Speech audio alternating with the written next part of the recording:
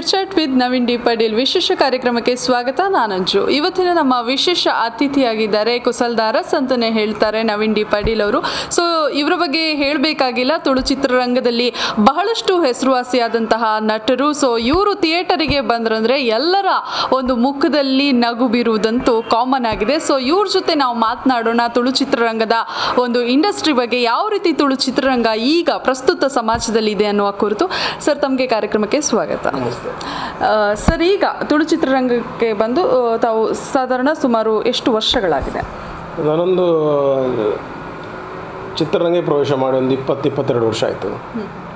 ರಂಗಭೂಮಿಗೆ ನಾನು ಮೂವತ್ತೆರಡು ವರ್ಷ ಆಯಿತು. ಈಗ ಕಲಾವಿದರಿಗೆ ಒಂದು ಬೋನಸ್ ಅಂತ ಹೇಳಿದರೂ ತಪ್ಪಾಗಿರಲಿಲ್ಲ. ಮೊದಲಿಗೆ ನಾವು ಹಿರಿಯವರು ಹಾಕಿದಂಥ ಅಡಿಪಾಯದ ಬಗ್ಗೆ ನಾವು ಚಿಂತನೆ ಮಾಡಬೇಕಂದ್ರೆ ಈಗಾದರೆ ಸುಲಭ. ಈಗ ಡಿಜಿಟಲ್ ಯುಗ ಆಗಿ ಚಿತ್ರೀಕರಣ ಸುಲಭ. ಮೊದಲಿನ ಅಲ್ಲ ಮೊದಲು ರೀಲು ಅದಕ್ಕೆ ಕಮಿಟ್ಮೆಂಟ್ ದೊಡ್ಡದಿತ್ತು ಕಾಸ್ಟ್ಲಿ ಆಗ್ತಿತ್ತು ಈ ತುಳು ಚಿತ್ರರಂಗಕ್ಕೆ. ಅಂದರೆ ಕನ್ನಡದ, ಕನ್ನಡ ಚಿತ್ರರಂಗ ಬೆಳವಣಿಗೆಯಲ್ಲಿರುವಾಗ ನಾವು ತುಳು ಚಿತ್ರರಂಗಕ್ಕೆ ಹಿರಿಯವರು ಕೈ ಹಾಕಿದ್ದು ದೊಡ್ಡ ವಿಷಯ ಅದು. ಈಗ ಅವರ ಅಡಿಪಾಯದಿಂದ ನಾವೀಗ ಮುಂದುವರಿಸಿಕೊಂಡು ಹೋಗ್ತೀನಿ. ಆ ರೀತಿಯಲ್ಲಿ ಆ ಟೈಮಲ್ಲಿ black and white K N Tailor ಆಗಿರ್ಬೋದು, ಮತ್ತು ದಂಡಗೇರಿ ಶ್ರೀನಿವಾಸ್ ಅವರೆಲ್ಲ ತುಂಬ ದೊಡ್ಡ ದೊಡ್ಡದವರು. ಇವರು ನಮ್ಮ ರಿಚರ್ಡ್ ಕ್ಯಾಸೊಲಿನ ಮತ್ತು ರಾಮ್ ಶೆಟ್ಟಿ ಅವರು, ಇವರೆಲ್ಲ ಕೈ ಹಾಕಿದ ಆ ಟೈಮ್ ಇದು ರಿಸ್ಕ್ ಅದು. ಅಂದರೆ ನಮಗೆ ಆಗ ಎರಡು ಥಿಯೇಟರ್ ಇದ್ದದ್ದು, ಎರಡು ಮೂರು ಥಿಯೇಟರ್ ಈಗಾದರೆ ಹದಿನಾಲ್ಕು ಥಿಯೇಟರ್ ಇದೆ ಮಲ್ಟಿಪ್ಲೆಕ್ಸ್ ಎಲ್ಲ ಸೇರಿ. ಆದ ಕಾರಣ ಈಗ ಸುಲಭ. ನಾವು ಅವರ ಅಡಿಪಾಯದ ಅವರು ಫೌಂಡೇಶನ್ ಹಾಕಿದ್ದಾರೆ, ಅದರಲ್ಲಿ ನಾವು ಮನೆ ಕಟ್ಟಿಗೆ ಈಗ ಬದುಕ್ತಿದ್ದೇವೆ. ಅದೊಂದು ವಿಷಯ. ಈಗ ನಮ್ಮದು ಒಂದು ಎರಡು ಮೂರು ಮಿನಿಮಮ್ ವರ್ಷಕ್ಕೆ ಬರ್ತಿತ್ತು. ಆಗ ಜನರು ನಿರೀಕ್ಷೆಯಿಂದ ಕಾಯ್ತಿದ್ರು. ಅಂದರೆ ವರ್ಷಕ್ಕೆ ಒಂದು ಹತ್ತು, ಎಂಟು, ಒಂಬತ್ತೆಲ್ಲ ಬರುವಾಗ ಜನರಿಗೂ ನಮ್ಮ ಆಡಿಯನ್ಸ್ ಇರುವುದು ಸ್ವಲ್ಪ ಸೀಮಿತವಾಗಿ. ಅವರೇ ಬಂದು ನೋಡಬೇಕು. ಆಗ ತಿಂಗಳಿಗೆ ಎಷ್ಟು ಖರ್ಚಾಗುತ್ತೆ ಅವ್ರದ್ದು ಕುಟುಂಬ ಸಮೇತರಾಗಿ ನೋಡಬೇಕಾದ್ರೆ ಸಿನಿಮಾ, ಅದು ಪ್ರೊಡ್ಯೂಸರ್ಗೆ ಲಾಸ್ ಬೀಳುತ್ತೆ. ಇದು ಈಗ ಒಂದು ಇಲ್ಲದ್ರೆ ಎರಡು, ಮೂರು ವರ್ಷಕ್ಕೊಂದು ರಿಲೀಸ್ ಆಗಬೇಕು. ಈಗ ಒಂದು ವಾರದಲ್ಲಿ ಈಗ ಎರಡು ರಿಲೀಸ್ ಆಗುವಂಥ ಪರಿಸ್ಥಿತಿ ಬಂದಿದೆ. ಅದು ನಾವು ನಾವೇ ನಮ್ಮ ಸೋಲನ್ನು ನಾವೇ ತೆಗೆದುಕೊಂಡಾಗೆ ಆಗುತ್ತೆ ಚಿತ್ರ ಚಿತ್ರರಂಗದು ಬೆಳವಣಿಗೆ ಒಳ್ಳೆಯದು ಹೌದು. ಆದರೆ ನಮಗೆ ಇದಿಲ್ಲ ಥಿಯೇಟ್ರ್ ಇಲ್ಲ. ಹದಿನಾಲ್ಕು ಥಿಯೇಟ್ರಲ್ಲಿ ನಾವು ಏನಂತ ಇದು ಮಾಡಬೇಕು? ಕನ್ನಡ ಸಿನಿಮಾ ಅಂದರೆ ನಮಗೆ ಹಾಕ್ಲಿಕ್ಕೆ ಆಗೋದಿಲ್ಲ. ಇನ್ನೊಂದು ಸಿನಿಮಾ ಅಂದರೆ ನಮ್ಮದು ಸಿನಿಮಾ ಇದು ಮಾಡೋದು. ದೊಡ್ಡ ಬಜೆಟ್ ಸಿನಿಮಾ ಮಾಡೋದಲ್ಲ ನಾವು. ನಾವು ಮನೋರಂಜನೆಗೋಸ್ಕರ ಇಲ್ಲಿ ಅವರು ತುಳು ಸಿನಿಮಾ ನೋಡ್ತಾರೆ. ಇಲ್ಲಿ ಮೇಕಿಂಗು ಫೈಟು ಡ್ಯಾನ್ಸು ಖರ್ಚು ಮಾಡಿದರೆ ವೇಸ್ಟು ಇಲ್ಲಿ ಜನರು ಬಂದು ಮನೋರಂಜನೆಗನ್ನು ನೋಡಿ ಅನುಭವಿಸಿ ಹೋಗುವಂಥ ಒಂದು ನಮ್ಮದು ಚಿತ್ರರಂಗ.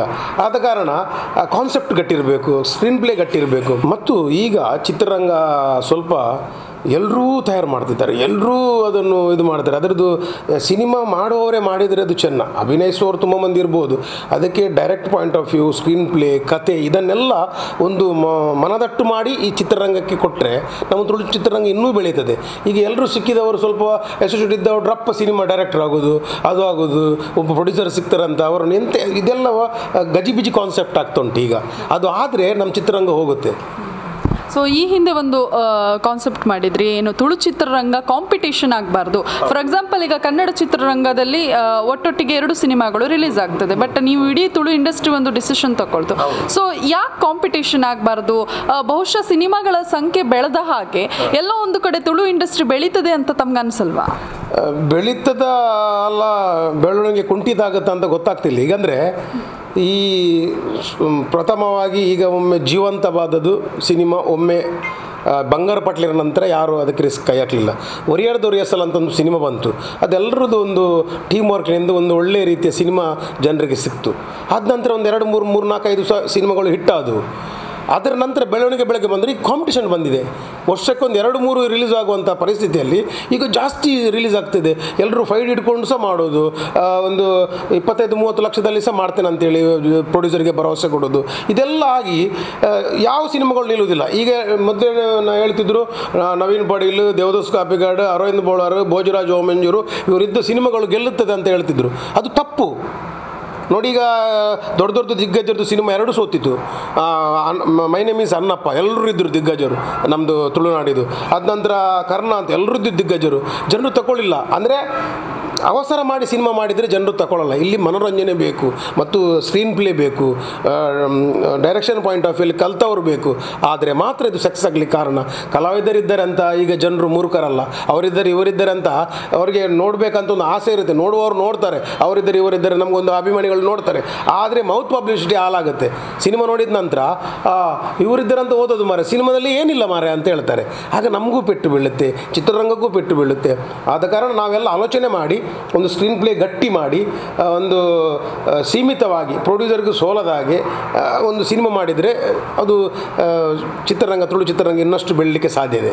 ಪ್ರಸ್ತುತ ಈಗ ಕನ್ನಡ ಚಿತ್ರರಂಗ ಪರಭಾಷೆಯ ಒಂದು ಹಾವಳಿಯಿಂದ ಬಹಳಷ್ಟು ಕುಗ್ತಾ ಇದೆ. ಬಹುಶಃ ಹಿಂದಿ ಸಿನಿಮಾವನ್ನು ವೀಕ್ಷಿಸ್ತಿರುವಂತಹ ವೀಕ್ಷಕರು. ಅದೇ ರೀತಿ ತುಳು ಚಿತ್ರದ ಸಮಸ್ಯೆಗಳು ಕೂಡ ಇದೆ. ಪರಭಾಷೆಯ ಹಾವಳಿ ಬಗ್ಗೆ ಏನು ಹೇಳ್ತೀವಿ ಪರಭಾಷೆದು ನಮಗೆ ಕಾಂಪಿಟೇಷನ್ ಇಲ್ಲ. ನಮ್ಮದೊಂದು ಸೀಮಿತವಾದ ಮಾರುಕಟ್ಟೆ ಒಂದು ಮನೋರಂಜನೆಗಿರುವಂಥ ನಮ್ಮ ತುಳು ಚಿತ್ರರಂಗ ಸಿನಿಮಾ ಇನ್ನು ಬೆಳವಣಿಗೆ ಆಗಲಿಕ್ಕೆ ತುಂಬ ವರ್ಷ ಹೋಗುತ್ತೆ. ಅಂದರೆ ಮೆಚೂರು ಮೆಚೂರ್ ಆಗಿ ಕಾಮಿಡಿ ನೋಡಿ ನೋಡಿ ನೋಡಿ ಒಂದು ಏನಾದರೆ ಮೆಸೇಜ್ ಬರುವಂಥ ಒಂದು ಟಫ್ ಸಿನಿಮಾಗಳು ಬಂದರೆ ಜನರು ತಗೊಳ್ತಾರೆ ಅಂದರೆ ನಮಗೆ ಪರಭಾಷೆದು ಏನಿಲ್ಲಪ್ಪ. ಅವ್ರದಕ್ಕೆ ನಮ್ಮ ಫೈಟ್ ಕೊಡಲಿಕ್ಕೆ ನಮ್ಮಷ್ಟು ಇಲ್ಲಿ ಹಣ ತುಸುರ್ಲಿಕ್ಕೆ ಆಗೋದಿಲ್ಲ. ಮತ್ತದು ರಿಕವರ್ ಕೂಡ ಇಲ್ಲ. ಅವ್ರದ್ದು ನಮ್ಗೆ ಏನಿಲ್ಲ. ನಮ್ಮದು ಒಳ್ಳೇದಿದ್ದರೆ ಯಾವ ಸಿನಿಮಾಗಳು ಬಂದರು. ಯಾವ ಫೈ ದೊಡ್ಡ ದೊಡ್ಡದು ಬ್ಯಾನರ್ ಆರ್ಟಿಸ್ಟ್ನವ್ರದ್ದು ಬಂದರು ಸಿನಿಮಾ ಕೂಡ ನಮ್ಮದು ಕಾಮಿಡಿಯಾಗಿ ಮನೋರಂಜನೆ ಆಗಿದ್ದರೆ ಅದರೊಟ್ಟಿಗೆ ನಮ್ಮದು ಜಾಸ್ತಿ ಓಡ್ತದೆ. ತುಳು ಚಿತ್ರರಂಗದ ಕಾನ್ಸೆಪ್ಟ್ ಚೇಂಜ್ ಮಾಡ್ಲಿಕ್ಕೆ ಆಗೋದಿಲ್ವಾ? ಫಾರ್ ಎಕ್ಸಾಂಪಲ್ ಎಲ್ಲ ಚಿತ್ರದಲ್ಲೂ ಮನರಂಜನೆಗೆ ಇಂಪಾರ್ಟೆನ್ಸ್ ಕೊಡ್ತಾ ಇದ್ದಾರೆ.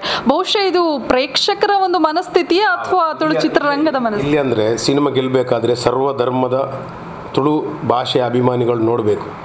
ಒಬ್ಬರು ನಾವು ನಮ್ಮದು ತುಳು ಭಾಷೆ ನಮ್ಮ ಹಿಂದೂ ಧರ್ಮದವ್ರು ನೋಡೋದಂತಲ್ಲ, ತುಳು ಸಿನಿಮಾವನ್ನು ಎಲ್ಲರೂ ನೋಡಿ ಮನೋರಂಜನೆ ತಗೊಳ್ತಾರೆ ಕ್ರಿಶ್ಚಿಯನ್ಸ್ನವರು, ಮುಸ್ಲಿಮ್ಸ್ನವರು ಮತ್ತು ನಮ್ಮವರು ಹಿಂದೂ ಮಾತಾಡೋದು ಹಿಂದೂ ಜಾತಿಯವರು.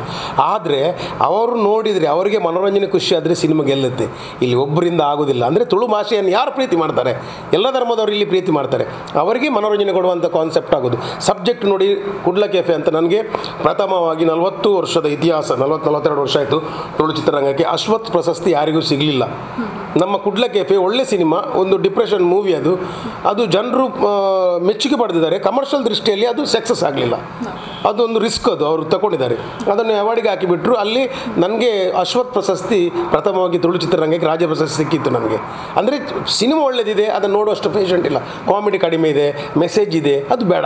ಇಲ್ಲಿ ಜನರಿಗೆ ನಮ್ಮ ಡ್ರಾಮಾ ಏನು ಕೊಟ್ಟಿದ್ದೇವೆ ನಾವು, ತುಳು ಇದರಲ್ಲಿ. ನಾವು ಎಲ್ಲ ನಮ್ಮ ದೊಡ್ಡ ದೊಡ್ಡ ಟೀಮ್ ಅವರು ಡ್ರಾಮಾ ಕೊಟ್ಟಿದ್ದಾರೆ. ಅದಕ್ಕೆ ಜನರು ಬದ್ಧವಾಗಿದ್ದಾರೆ ಅಂದರೆ ಡೈಲಾಗ್ಸ್ ಬೇಕು ಕಾಮಿಡಿ ಬೇಕು. ಅದು ಈ ರೀತಿಯಲ್ಲಿ ನಮ್ಮದು ಈಗ ಬೆಳವಣಿಗೆ ಆಗಲಿಕ್ಕೆ ಏನಾಗುತ್ತೆ ಅಂತ ಗೊತ್ತಿಲ್ಲ. ಅದಕ್ಕೆ ಯಾವ ಪ್ರಾಡಕ್ಟ್ ಆಗಬೇಕಂತ ಗೊತ್ತಿಲ್ಲ. ಇನ್ನು ಬರ್ಬೋದು. ಮೊದಲೆಲ್ಲ ತ- ಮಲಯಾಳಂ ಚಿತ್ರದಲ್ಲಿ ನೋಡ್ತಿರ್ಬೋದು ನೀವು. ಬೇರೆ ಬೇರೆ ಸಿನಿಮಾಗಳು ಬರ್ತಿತ್ತು. ಮತ್ತು ಕಾಮಿಡಿಯೇ ಅದನ್ನು ಜಾಸ್ತಿ. ಈಗ ಅಲ್ಲಿ ಮೇಕಿಂಗ್ ಸಿನಿಮಾಗಳು ಬರ್ತಾ ಇದೆ. ಸಬ್ಜೆಕ್ಟ್ ಸಿನಿಮಾಗಳು ಬರ್ತಾ ಇದೆ. ಕ್ರಮೇಣ ನಮ್ಮ ತುಳು ಚಿತ್ರರಂಗ ಒಳ್ಳೆ ಒಳ್ಳೆ ನಿರ್ದೇಶಕರು ಸಿಕ್ಕಿದರೆ ಒಳ್ಳೊಳ್ಳೆ ಕಥೆಗಾರರು ಸಿಕ್ಕಿದರೆ ಇದು ಇಂಪ್ರೂವ್ಮೆಂಟ್ ಆಗುತ್ತೆ. ಅದು ನಮಗೆ ಗೊತ್ತಿಲ್ಲ. ನಾವು ಹೊಸೊಬ್ರು ಬರಬೇಕಂತಲೇ ಕಾಯ್ತಾ ಇರೋದು. ನನ್ನ ಸ್ವಭಾವ ಇನ್ನೊಬ್ಬರು ಬರಬೇಕು ಇನ್ನೊಬ್ಬರಿಗೆ ಸಪೋರ್ಟ್ ಮಾಡಬೇಕು. ನಾವು ಹೋಗ್ತಾ ಬರುವಾಗ ಇನ್ನೊಬ್ಬರು ಬೆಳೀತಾ ಬರಬೇಕು. ಇಲ್ಲದೆ ನಮ್ಮ ತುಳು ಚಿತ್ರರಂಗ ತುಳು ರಂಗಭೂಮಿ ಹೀಗೆ ಉಳಿತದೆ. ನಮ್ಮ ನಮ್ಮದೇ ನಮ್ಮದೇ ನಾವೇ ನಾವೇ ಅಂತ ಮೊನೋಪೊಲಿಯಾಗಿ ಹೋದರೆ ಚಿತ್ರರಂಗ ಮತ್ತು ರಂಗಭೂಮಿ ಉಳಿತದೆ. ಅದಕ್ಕೋಸ್ಕರ ನಾವು ಇನ್ನೊಬ್ಬರಿಗೆ ಹೊಸೊಬ್ಬರಿಗೆ ನಾವು ಸಪೋರ್ಟ್ ಮಾಡುವಂಥ ಕಾರ್ಯಕ್ರಮ ಜಾಸ್ತಿ ಆಗಬೇಕು. ತುಳು ಚಿತ್ರರಂಗ ಈಗ ತುಳು ಚಿತ್ರಗಳು ಒಂದು ಕರಾವಳಿಯ ಗಡಿಯನ್ನು ದಾಟಿ ಬೇರೆ ಬೇರೆ ಜಿಲ್ಲೆಗಳಿಗಾಗಿರ್ಬೋದು ಅಥವಾ ಬೇರೆ ರಾಜ್ಯಕ್ಕೆ ಹೋದಂಥ ಹಲವು ಉದಾಹರಣೆಗಳಿದೆ. ಇದೆ ನಮ್ದೀಗ ಬಾಂಬೆಯಲ್ಲಿ ನಡೀತದೆ. ಸಿನಿಮಾ ಇಟ್ಟಾದರೆ ದುಬೈಯಲ್ಲಿ ಗಲ್ಫಲ್ಲಿ ಎಲ್ಲ ತುಳುವರು ಎಲ್ಲಿದ್ದಾರೆ ನಮ್ಮ ತುಳು ಭಾಷೆ ಪ್ರಿಯರು ಎಲ್ಲಿದ್ದಾರೆ ಸರ್ವಧರ್ಮದವರು, ಅಲ್ಲಿ ಅದನ್ನು ಲೈಕ್ ಮಾಡ್ತಾರೆ. ಅಲ್ಲಿ ಒಂದು ಎರಡು, ಮೂರು, ನಾಲ್ಕು ಶೋಸ್ ಆಗುತ್ತೆ. ಮತ್ತು ಈಗ ಕಾರಣ ಬೆಂಗಳೂರಲ್ಲಿ ಸಹ ಒಂದೊಂದು ವಾರ ಓಡುವಂಥ ಪರಿಸ್ಥಿತಿ ಇದೆ. ಸಿನಿಮಾ ಮಾತ್ರ ಒಳ್ಳೆದಿರಬೇಕು. ಜನರ ಮೌತ್ ಪಬ್ಲಿಸಿಟಿ ಒಳ್ಳೆದುಂಟು, ಒಳ್ಳೇದುಂಟಾಗಿ. ಮೊದಲು ನಮಗೆ ತುಳು ಚಿತ್ರರಂಗಕ್ಕೆ ಓಪನಿಂಗ್ ಇತ್ತು. ನಾವೆಲ್ಲ ಇದ್ದೇವೆ ಅಂದರೆ, ನಾವು ಕಾಪಿಕಾಡು ಬೋಳರು ಅವರು, ಇವರೆಲ್ಲ ದೊಡ್ಡ ಆರ್ಟಿಸ್ಟ್ನವರಲ್ಲಿ ಇದ್ದರೆ ಅಂದರೆ ಒಂದು ಓಪನಿಂಗ್ ಇತ್ತು. ಈಗ ಓಪನಿಂಗ್ ಕೂಡ ಡೌನ್ ಆಗಿದೆ. ಮೊದಲು ಮೊದಲಿನಷ್ಟು ಓಪನಿಂಗ್ ಇಲ್ಲ ತುಳು ಸಿನಿಮಾಕ್ಕೆ. ಅಂದರೆ ಜನರು ಒಳ್ಳೇದುಂಟಂತ ಹೇಳಿದರೆ ಮಾತ್ರ ಹೊರಡ್ತಾರೆ ಮೊದಲು ಇವರಿದ್ದರಲ್ಲ ಅಂತ ಹೊರಡ್ತಿದ್ರು ಈಗ ಆ ಪರಿಸ್ಥಿತಿ ಬಂದಿದೆ. ಆದ ಕಾರಣ ನಾವು ತುಳು ಚಿತ್ರರಂಗದ ನಿರ್ದೇಶಕರು ಕಥೆಗಾರರು ಅಭಿನಯಗಾರರು ನಾವು ಜಾಗೃತರಾಗಬೇಕು. ಇದನ್ನು ಉಳಿಸಬೇಕಷ್ಟೇ. ಸೊ ಈ ಒಂದು ತುಳು ಚಿತ್ರರಂಗದಲ್ಲಿ ಯುವಕರ ಉತ್ಸಾಹದ ಬಗ್ಗೆ ಏನು ಹೇಳ್ತೀರಾ? ಇಪ್ಪತ್ತು ವರ್ಷದ ಯುವಕರು ಕೂಡ ಚಿತ್ರ ನಿರ್ದೇಶಿಸ್ತಾರೆ ನಟನೆ ಮಾಡ್ತಾರೆ. ಸೊ ಅವರ ಬಗ್ಗೆ ಏನು ನಿರ್ದೇಶನಕ್ಕೆ ವಯಸ್ಸಿಲ್ಲ. ಯಾರಿಗೆ ಬುದ್ಧಿ ಇದೆ ಯಾರಿಗೆ ಅದರ ಬಗ್ಗೆ ನಾಲೆಜ್ ಇದೆ, ಯಾರೂ ನಿರ್ದೇಶನ ಮಾಡ್ಬೋದು. ಅದಕ್ಕೆ ಅವರು, ಇವರು ದೊಡ್ಡವರು, ಚಿಕ್ಕವರು ಅಂತಿಲ್ಲ. ದೊಡ್ಡವರು ಮಾಡಿದ್ದು ಫ್ಲಾಪ್ ಆದರೆ ಅವರು ಮೊದಲು ಏಯ್ಟಿ ಟು ಅಲ್ಲಿದ್ದಾರೆ ಈಗ ಮಾತಾಡ್ತಾರೆ. ಅವರು ಹೊಸತು ಕೊಟ್ಟರು ಕೂಡ. ಈ ರೀತಿಯಂಥ ಮಾತುಗಳು ಬರುತ್ತೆ ಆದ ಕಾರಣ ಚಿಕ್ಕವರಿಗೆ ನಾಲೆಜ್ ಇದ್ದರೆ ಅದಕ್ಕೆ ಕೈ ಹಾಕಬೇಕು ನಾನು ಏನೋ ಮಾಡ್ತೇನೆ, ಏನೋ ವಾಟ್ಸಪ್ ನೋಡಿ ಕಾನ್ಸೆಪ್ಟ್ ಸಿಕ್ತು ಅದೆಲ್ಲ ಒಂದು ಕತೆ ನೋಡಿ ಕಾನ್ಸೆಪ್ಟ್ ಸಿಕ್ಕಂತ ಕ್ಯಾಮರಾ ಹಿಡಿದುಕೊಂಡು ಹೋಗೋದು ಸಿನಿಮಾ ಅಲ್ಲ. ಸಿನಿಮಾಗೊಂದು ನಾಲೆಜ್ ಅಂತ ಇದೆ. ಸಿನಿಮಾಗೊಂದು ಇಷ್ಟು ಕಟ್ ಶಾಟು ಇಷ್ಟು ರೀಚ್ ಆಗಬೇಕಾದ್ರೆ ಇಷ್ಟು ಶಾಟ್ ಇದೆಲ್ಲ ಒಂದು ಅನುಭವ ತೆಗೆದಂಥ ನಿರ್ದೇಶಕರಿದ್ದರೆ ಅದು ಸಕ್ಸಸ್ ಆಗುತ್ತೆ. ಇಪ್ಪತ್ತು ವರ್ಷ ಅವ್ರು ಮಾಡಿದರೂ ಸಂತೋಷವೇ ಆದರೆ ಸಿನಿಮಾ ಮಾಡಲಿಕ್ಕೆ ತುಂಬ ಕಷ್ಟ ಇದೆ. ಅದು ಅವರು ಹೇಳಿದಾಗಿಲ್ಲ ಆ ಸ್ಕ್ರೀನ್ ಪ್ಲೇ ಗಟ್ಟಿ ಆದರೆ ಮಾತ್ರ ಜನರು ನೋಡ್ತಾರೆ ಅಷ್ಟೇ. ಸೊ ನಟಿಯರಿಗೆ ತುಳು ಚಿತ್ರ ಒಂದು ರೀತಿ ಬೇಸಿಕ್ ಪ್ಲಾಟ್ಫಾರ್ಮ್ ತುಳು ಚಿತ್ರದಲ್ಲಿ ನಟನೆ ಮಾಡ್ತಾರೆ ಬೇರೆ ಭಾಷೆಗೆ ನಟನೆಗೆ ಹೋಗ್ತಾರೆ. ಸೊ ಈ ಬಗ್ಗೆ ತಾವೇನು ಹೇಳ್ತೀರಾ? ಒಳ್ಳೆಯ ವಿಷಯ. ಆದರೆ ಇಲ್ಲಿ ಕೂಡ ಅವರು ಆ ಪಾತ್ರಕ್ಕೆ ಜೀವ ತುಂಬಿದರೆ ಅವರಿಗೆ ಸಕ್ಸಸ್ ಆಗಲಿ ಚಾನ್ಸ್ ಹೆಚ್ಚಿನವರು ತುಳು ಚಿತ್ರರಂಗದಲ್ಲಿ ಯಾರು ನಟಿಸಿದಾರ, ಅವರು ಹೊರಗಡೆ ಹೋಗಿ ಸಕ್ಸಸ್ ಆದದ್ದು ತುಂಬ ಇದೆ. ಅಂದರೆ ಒಂದು ಲಕ್ ತುಳು ಚಿತ್ರರಂಗದಲ್ಲಿ ನಿಯತ್ತಾಗಿ ದುಡ್ದವರು ಬೇರೆ ಭಾಷೆಗೆ ಹೋದರೆ ಅವ್ರ ಸಕ್ಸಸ್ಸೇ ಇಲ್ಲಿ ನಿಯತ್ತಾಗಿ ದುಡಿಯೋದೇ ಬೇರೆ ಭಾಷೆಗೆ ಹೋದರೆ ಸಕ್ಸಸ್ ಆಗೋದಿಲ್ಲ. ಈ ತುಳು ಚಿತ್ರರಂಗದಲ್ಲಿ ಯಾರು ಮೊದಲ ಬಾರಿಗೆ ನನ್ನ ಅಭಿನಯ, ನನಗೆ ಒಂದು ಪಾತ್ರ ಕೊಟ್ಟಿದ್ದಾರೆ, ಅದಕ್ಕೆ ನಾನು ಉತ್ತರ ಕೊಡಬೇಕಂತ ಯಾರು ಡೆಡಿಕೇಶನ್ ಆಗಿ ಅಭಿನಯಿಸಿದ್ದಾರೆ, ಅವರು ಹಂಡ್ರೆಡ್ ಪರ್ಸೆಂಟ್ ಸಕ್ಸಸ್ ಇಲ್ಲಿ ಹುಡುಗಿಯರು ತುಂಬ ಮಂದಿ ಹೋಗಿದ್ದಾರೆ ನೋಡಿ, ನೀವು ನೋಡಿರ್ಬೋದು, ನನಗೆ ಹೆಸರು ಹೇಳಲಿಕ್ಕೆ ಬರ್ತಾ ಇಲ್ಲ. ಬಟ್ ತುಂಬ ಮಂದಿ ಸಕ್ಸಸ್ ಆದರು, ನಮ್ಮ ಮಂಗಳೂರಿಂದ ಹೋದವರು, ಮಂಗಳೂರು ಬಾ, ತುಳು ಭಾಷೆಯಲ್ಲಿ ಮಾಡಿದವರು. ಈಗ ದಿಗಂತ ಅಂತ ಒಳ್ಳೆ ಒಬ್ಬ ಹೀರೋ ಬಂದ, ಅವನು ಫಸ್ಟ್ ತುಳುವಲ್ಲಿ. ಮತ್ತು ತುಂಬ ಬಂದಿದ್ದಾರೆ ನಿಮಗೆ ನನಗೆ ಹೆಸರು ಹೇಳಲಿಕ್ಕೆ ಬರ್ತಾ ಇಲ್ಲ. ಸೊ ಈಗ ಏನು ತುಳು ಚಿತ್ರರಂಗದಲ್ಲಿ ಕೇವಲ ಮಂಗಳೂರು ಅಥವಾ ಈ ಕರಾವಳಿ ಭಾಗದವರಿಗೆ ಆದ್ಯತೆ ಅಥವಾ ಬೇರೆ ಭಾಷೆ ಮಾತನಾಡುವಂಥದ್ದು ಅಥವಾ ಭಾಷೆ ಬರೆದಿದ್ದ ಜನರಿಗೂ ಕೂಡ ಆದ್ಯತೆ ಅಥವಾ ಪ್ರಾಶಸ್ತ್ಯತೆ ನೀಡ್ತೀರಾ? ಅಭಿನಯ ಇದ್ದರೆ ಭಾಷೆಗೆ ಇದಿಲ್ಲ ಜಾತಿ ಮತ ಧರ್ಮ ಏನಿಲ್ಲ. ಅದು ಭಾವನೆಯ ಮುಖಾಂತರ ನಡೆಯುವಂಥದ್ದೊಂದು ರೀತಿ. ಬೇರೆಯವರು ಅಂದರೆ ಕನ್ನಡ ಚಿತ್ರರಂಗದ ಕನ್ನಡ ಆರ್ಟಿಸ್ಟ್ನವ್ರಿಗೆ ತುಳು ತುಳು ಪ್ರೊನೌನ್ಸಿಯೇಷನ್ ಕಷ್ಟ ಆಗುತ್ತೆ. ನಮ್ಮಾದ ನಾವಾದರೆ ಅಲ್ಲಿ ಹೋಗಿ ಮ್ಯಾನೇಜ್ ಮಾಡ್ಬೋದು. ಇಲ್ಲಿ ತುಳು ಚಿತ್ರರಂಗದಲ್ಲಿ ಇದ್ರೆ ಕಷ್ಟ ಆಗುತ್ತೆ. ಆದ ಕಾರಣ ಅವರಿಗೆ ಸ್ವಲ್ಪ ಪೋಷಕ ನಟ ಪಾತ್ರ ಮಾತ್ರ ಕೊಡ್ತಾರೆ. ಮತ್ತು ಎಲ್ಲ ಯಾವುದನ್ನು ಕೊಡುವುದಿಲ್ಲ. ಒಂದು ಏನಂದ್ರೆ ಗೆಸ್ಟ್ ಅಪಿರಿಯನ್ಸಾ ಅಲ್ಲಾದ್ರೊಂದು ಚಿಕ್ಕ, ಈಗ ಭಾರತಿ ಅವರು ಅಭಿನಯಿಸಿದರು ರೋಹಿತೋಷ್ ಅವರು ಅಭಿನಯಿಸಿದರು ದೊಡ್ಡ ದೊಡ್ಡದು ದಿಗ್ಗಜರು ಇವರು ವಿಜಯ ರಾಘವೇಂದ್ರ ಅವರು ಅಭಿನಯಿಸಿದರು. ಇದೆಲ್ಲ ದೊಡ್ಡ ದೊಡ್ಡ ಆರ್ಟಿಸ್ಟ್ನವರು ಅಭಿನಯಿಸಿದ್ದಾರೆ. ಸಾಯಿ ಕುಮಾರ್ ಈಗ ಗೋಳ್ಮಾಲ್ ಅಂತ ಚಿತ್ರದಲ್ಲಿ ಅಭಿನಯಿಸ್ತಿದ್ದಾರೆ. ಅಭಿನಯಿಸ್ತಾರೆ. ಅವ್ರಿಗೆ ಇಷ್ಟೊಂದು ಸೀಮಿತವಾಗಿ ಒಂದು ಪಾತ್ರ ಕೊಟ್ಟರೆ ಅದಕ್ಕೆ ಇದು ಮಾಡ್ಬೋದು. ಇಲ್ಲದ್ರೆ ನಮ್ಮದು ತುಳು ತುಳು ಮಾತಾಡುವಂಥ ಲ್ಯಾಂಗ್ವೇಜ್ ಅಲ್ಲಿಗೆ ಡಬ್ಬಿಂಗ್ಗೆ ಸ್ವಲ್ಪ ಕಷ್ಟ ಆಗುತ್ತೆ. ಮತ್ತು ಜನರು ಅದನ್ನು ಲೈಕ್ ಮಾಡಲ್ಲ.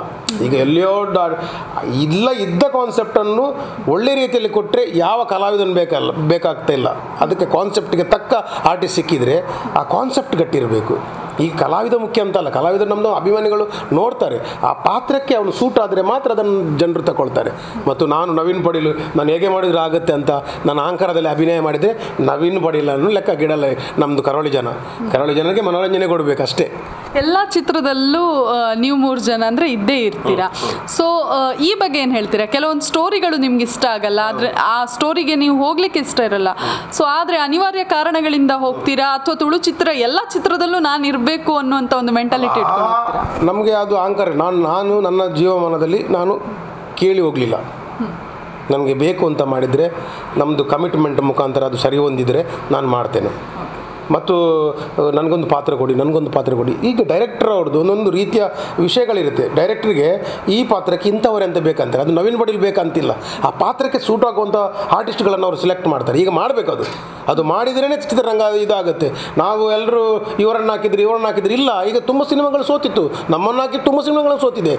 ಆ ಪಾತ್ರಕ್ಕೆ ಸೂಟ್ ಆದರೆ ಮಾತ್ರ ನಮ್ಮನ್ನು ಇನ್ವೈಟ್ ಮಾಡಬೇಕು. ಅದಕ್ಕೆ ನಮಗೆ ಇದು ಮಾಡಬೇಕು. ಮತ್ತು ನಾನು ಮಾಡ್ತೇನೆ. ನನಗೆ ಕೊಡಿ, ಅದಂತ ಹೇಳಿ ಹೋದರೆ ಅದು ಆಗೋದಿಲ್ಲ. ನಮ್ಗೆ ಕೊಡುವುದಿಲ್ಲ ನಾನು ಹೋಗೋದಿಲ್ಲ. ಆದ ಕಾರಣ ಆರ್ಟಿಸ್ಟ್ ಬೇಕು. ಆರ್ಟಿಸ್ಟ್ ಬೇಕು. ಅದಕ್ಕೆ ಜೀವ ತುಂಬುವಂಥ ಆರ್ಟಿಸ್ಟ್ನವರು ಬೇಕು. ಅದೇ ರೀತಿ ಅದಕ್ಕೆ ಕಾನ್ಸೆಪ್ಟು ಡೈರೆಕ್ಷನ್ಸ್ ಬೇಕು. ಟೀಮ್ ವರ್ಕ್ ಬೇಕು. ಇಲ್ಲದ್ರೆ ಸಕ್ಸಸ್ ಆಗೋದಿಲ್ಲ ಸಿನಿಮಾ ಒಬ್ಬರಿಂದ ಯಾವುದೂ ಇಲ್ಲ. ಇಲ್ಲಿ ಡೈರೆಕ್ಟ್ರು ಇಲ್ಲಿ ಆರ್ಟಿಸ್ಟು ಇದೆಲ್ಲ ಕಾಂಬಿನೇಷನ್ ಒಟ್ಟಿಗೆ ಆದರೆ ಮಾತ್ರ ಒಂದು ಪ್ರಾಡಕ್ಟ್ ಒಳ್ಳೆಯದಾಗುತ್ತೆ ಮತ್ತು ಈಗ ಹೇಳಿದಾಗೆ ನೀನು ಎಲ್ಲರೂ ಮಾಡ್ತಾರೆ, ಆದರೆ ಸಿನಿಮಾ ತುಂಬ ನಾಲೆಜ್ ಇದ್ದವರು ಮಾಡೋದಿಲ್ಲ. ನಾಲೆಜ್ ಇದ್ದವರು ಮಾಡಿದವರು ಸಕ್ಸಸ್ ಆಗಿದೆ. ತುಂಬ ಸಿನಿಮಾಗಳು ಸಕ್ಸಸ್ ಆಗಿದೆ. ಸ್ವಲ್ಪ ಅದರ ಬಗ್ಗೆ ನಾಲೆಜ್ ಇದ್ದವರು ಮಾಡಿದೆ. ಆದ ಕಾರಣ ಇದಕ್ಕೆ ಮೇಯ್ನ್ ಇಗೋ ಪ್ರಾಬ್ಲಮ್ ಬಿಟ್ಟು, ನಾನು ನಾನು ಎಂದು ಹೇಳುವಂಥ ಮಾತನ್ನು ಬಿಟ್ಟು, ಸಿನಿಮಾ ಒಂದು ನಮ್ಮ ಟೀಮ್ ಅಂತ ಮಾಡಿದರೆ ಸಿನಿಮಾ ಹಂಡ್ರೆಡ್ ಪರ್ಸೆಂಟ್ ಸಕ್ಸಸ್ ಇಷ್ಟು ಹೇಳ್ತೇನೆ ನಾನು. ಈಗ ಮಂಗಳೂರಿನ ಭಾಷೆ ಅಥವಾ ಮಂಗಳೂರಿನ ಕನ್ನಡ ಅಥವಾ ಮಂಗಳೂರಿನ ತುಳು ಇನ್ನೊಂದು ಭಾಷೆಯ ಚಿತ್ರಕ್ಕೆ ಹಾಸ್ಯದ ವಸ್ತು ಆಗಿದೆ. ಹಾಸ್ಯದ ವಸ್ತು ಅಂತಲ್ಲ, ಒಂದು ಹಾಸ್ಯ ಅಂತ ಹೇಳಲಿಕ್ಕೆ ಆಗೋದಿಲ್ಲ. ಈಗ ಮೊದಲು ಎಂಥದ್ದು ಮಾರಾಯರೆ, ಹೇಗುಂಟು ಮಾರಾಯರೆ? ಅದು ನಮ್ಮದು ಮಂಗಳೂರು ಕನ್ನಡ ಅಲ್ಲ. ಅದು ಈ ಕಡೆ ಈಚೆ, ಬ್ರಹ್ಮವರ ಕಳೆದ ನಂತರ ಕುಂದಾಪುರ ಕನ್ನಡ. ಅದನ್ನು ಮಂಗಳೂರು ಕನ್ನಡ ಅಂತ ಹಾಸ್ಯ ರೂಪದಲ್ಲಿ, ಕನ್ನಡ ಚಿತ್ರರಂಗದಲ್ಲಿ ಭಾಳಷ್ಟು ಜನ ಕಲಾವಿದರು ಉಪಯೋಗಿಸಿದ್ದಾರೆ. ಈಗ ಕಾಶಿನಾಥ್ ಆಗಿರ್ಬೋದು, ಮತ್ತು ಇವರು ನಮ್ಮ ದಿನೇಶ್ ಅವರಾಗಿರ್ಬೋದು ಅವರೊಂದು ಹೇಳೋ ಶೈಲಿ ಅದೊಂದು ಮಂಗಳೂರು ಕನ್ನಡ ಅಂತ. ಮಂಗಳೂರು ಕನ್ನಡ ಮಾರಾಯರಲ್ಲ. ನಮ್ಮದು ಈ ಪುಸ್ತಕದಲ್ಲಿ ಏನಿದೆ, ಅದು ಕನ್ನಡ. ಅದು ಅದನ್ನು ನಾವು ಹೇಳುವಾಗ ಅದೊಂದು ರೀತಿ ಆಸೆ. ಈಗ ಅದನ್ನು ಟೆಸ್ಟ್ ತಂದು ಈಗ ಮಜಾ ಟಾಕೀಸ್ನಲ್ಲಿ ನಂದೊಂದು ಗುಂಡು ಮಾಮನ ಪಾತ್ರ ಇದೆ. ಸುಜನ್ ಸರ್ ಹೇಳಿದ್ರು, ನಿಮ್ಮ ಕನ್ನಡದಲ್ಲಿ ಮಾತಾಡಿ. ಅದು ಆ ಜನರಿಗೆ ಅದು ಹಾಸ್ಯ ರೂಪದಲ್ಲಿ ಆ ಕನ್ನಡ ನಮಗೆ ಜನರಿಗೆ ಖುಷಿ ಆಗ್ತಿತ್ತು. ಅದ ನಂತರ ಒಂದು ಮೊಟ್ಟೆ ಕತೆ ನೋಡಿ ಅದನ್ನು ಮಂಗಳೂರು ಕನ್ನಡ ಮತ್ತು ಉಳಿದವರು ಕಂಡಂತೆ ಮಂಗಳೂರು ಕನ್ನಡ. ಇದೆಲ್ಲ ಒಂದು ರೀತಿಯಲ್ಲಿ ಪ್ರೆಸೆಂಟೇಷನ್ ಕೊಟ್ಟರೆ ಅದು ಹಾಸ್ಯನೇ. ಈಗಾಗಿ ಹುಬ್ಳಿ ಕನ್ನಡವರು ಬೇರೆ ರೀತಿ ಇದೆ ಅದು ಹೇಳುವಾಗ ಸಹ ನಮಗೂ ಹಾಸ್ಯ ಆಗುತ್ತೆ. ಹಾಸ್ಯ ಅಂತ ಜನರಿಗೆ ನಾವು ಮಾತಾಡೋದು ಅವರಿಗೆ ಅರ್ಥ ಆದರೆ ಅದು ಪಂಚೆ, ಹಾಸ್ಯವೇ. ಇಲ್ಲದಿದ್ದರೆ ಅದನ್ನು ಅವರದ್ದು ಕನ್ನಡಕ್ಕೆ, ನಮ್ಮ ಮಂಗಳೂರು ಕನ್ನಡಕ್ಕೆ ತಮಾಷೆ ಮಾಡ್ತಾರೆ. ಅಲ್ಲ, ಹುಬ್ಳಿ ಕನ್ನಡಕ್ಕೆ ತಮಾಷೆ ಮಾಡ್ತಾರೆ ಅಂತಲ್ಲ, ಅದೊಂದು ಪಾತ್ರಕ್ಕೆ ಸೀಮಿತವಾಗಿ ಅದನ್ನು ಉಪಯೋಗಿಸ್ಕೊಂಡು ಹೋಗೋದು ಜನರಿಗೆ ಮನೋರಂಜನೆ. ಅಷ್ಟೇ, ಮನೋರಂಜನೆಗೋಸ್ಕರ ಮಾತ್ರ. ಅದು ಚಿಕ್ಕದು ಮಾಡೋದಂತಲ್ಲ. ನಾವು ಕನ್ನಡಿಗರೇ, ಬಟ್ ಒಂದೊಂದು ರೀತಿಯ, ಒಂದೊಂದು ಕಡೆಯಲ್ಲಿ ಒಂದೊಂದು ರೀತಿಯಲ್ಲಿ. ಎಲ್ಲ ಕೇರಳದಲ್ಲಿ ಸಹ ಮಲಯಾಳಂ ಒಂದು ರೀತಿಯಲ್ಲಿ ಕಾಸರಗೋಡಲ್ಲಿ ಬೇರೆ ಅಂದರೆ ಬೇರೆ ಬೇರೆ ಬೇರೆ ರೀತಿಯಲ್ಲಿ ಹೋಗ್ತಾ ಬರುತ್ತೆ. ತಮಿಳ್ಸ್ ಆಗಿದೆ ಒಂದು ಊರಲ್ಲಿ ಈ ರೀತಿ ತಮಿಳಿದ್ರೆ ಇನ್ನೊಂದು ಬೆಳವಣಿಗೆ ಮುಖಾಂತರ ಬೇರೆ ಬೇರೆ ರೀತಿಯ ತಮಿಳು ಭಾಷೆ ಇದೆ. ಹೀಗೆ ನಮ್ಮ ತುಳು ಸಾಕಿ. ಇಲ್ಲಿ ಮಂಗಳೂರು ತುಳು ಬೇರೆ, ಪುತ್ತೂರು ತುಳು ಬೇರೆ, ಉಡುಪಿ ತುಳು ಬೇರೆ ಹೆಬ್ರಿ ಆಚೆ ತುಳು ಬೇರೆ, ಕಾಸರಗೋಡು ತುಳು ಬೇರೆ.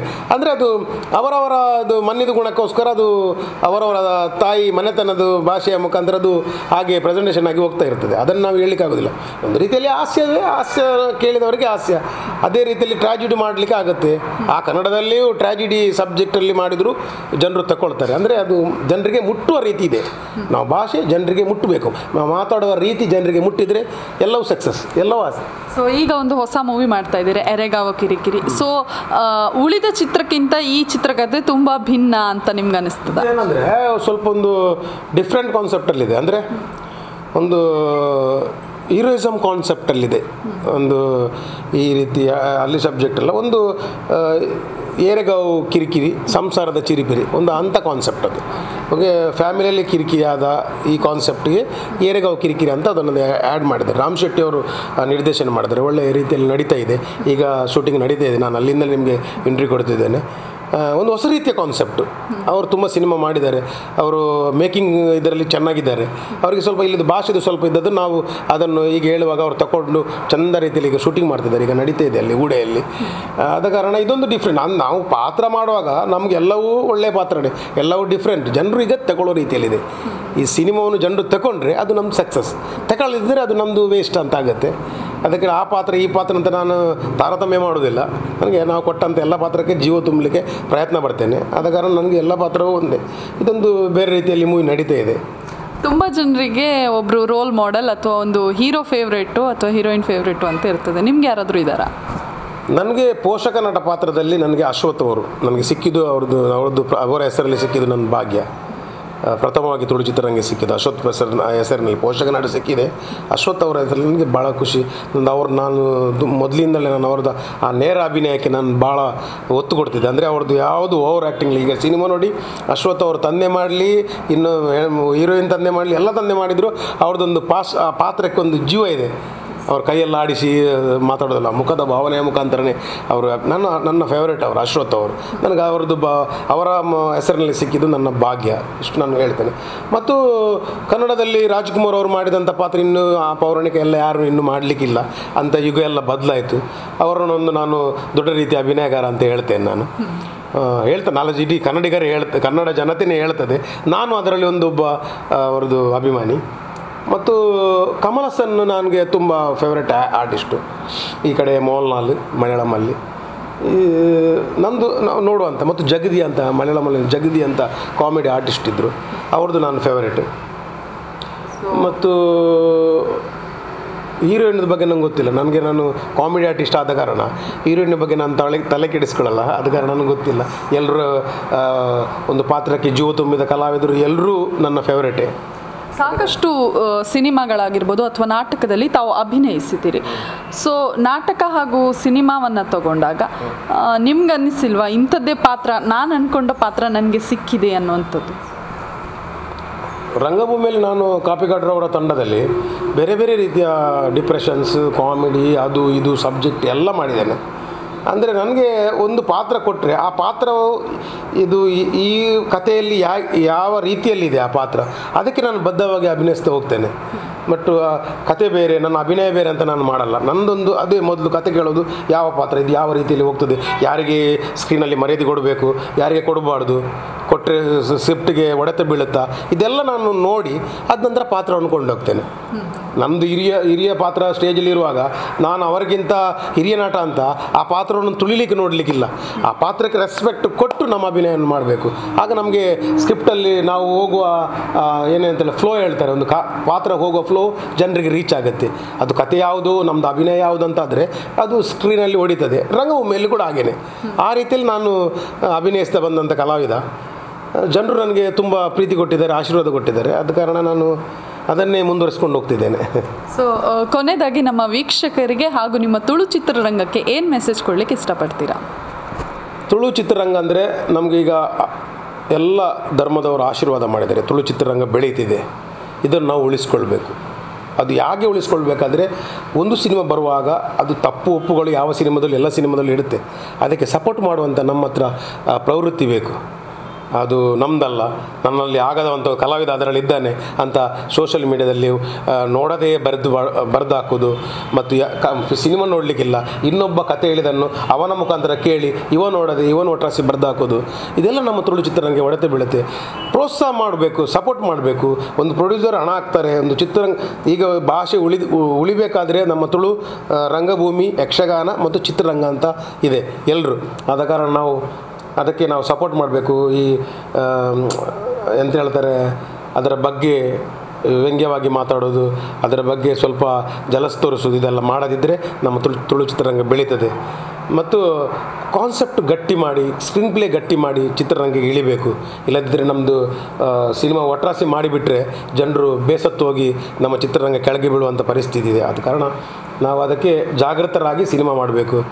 ಒಂದು ಇಂಥ ಕಲಾವಿದನೇ ಬೇಕು ಅಂತ ಹಾಕ್ಬಾರ್ದು. ಆ ಪಾತ್ರಕ್ಕೆ ಸಿಕ್ಕ, ಆ ಪಾತ್ರಕ್ಕೆ ಯಾವ ರೀತಿಯ ಇದು ಫೇಸ್ ಬೇಕು, ಅದನ್ನು ಯೂಸ್ ಮಾಡಿ ಹಾಕಬೇಕು. ಮತ್ತು ಸಿನಿಮಾ ಒಂದು ಟೀಮ್ ವರ್ಕ್ನಿಂದ ಆಗಬೇಕು. ಅದು ವೈಮನಸ್ಸಿನಿಂದ ಆದರೆ ನಮ್ಮದು ಸಿನಿಮಾ ಚಿತ್ರರಂಗ ಹೋಗುತ್ತೆ. ಅದಕ್ಕೆ ನಾವೇ ಜಾಗೃತರಾಗಿ ಒಂದು ಗ್ಯಾಪ್ ಕೊಟ್ಟು ಕಾಂಪಿಟೇಷನ್ ಇಲ್ಲದೆ ರಿಲೀಸ್ ಮಾಡೋದು. ನನಗೆ ಹದಿನಾಲ್ಕು ಸೆಂಟರ್ ಇರೋದು, ಅದು ಸಹ ಕರೆಕ್ಟ್ ಇಲ್ಲ. ಮತ್ತು ಮಲ್ಟಿಪ್ಲೆಕ್ಸ್ನಲ್ಲಿ ಸಿನಿಮಾ ಓಡಿದರೆ ಲಾಭ ಭಾಳ ಕಡಿಮೆ.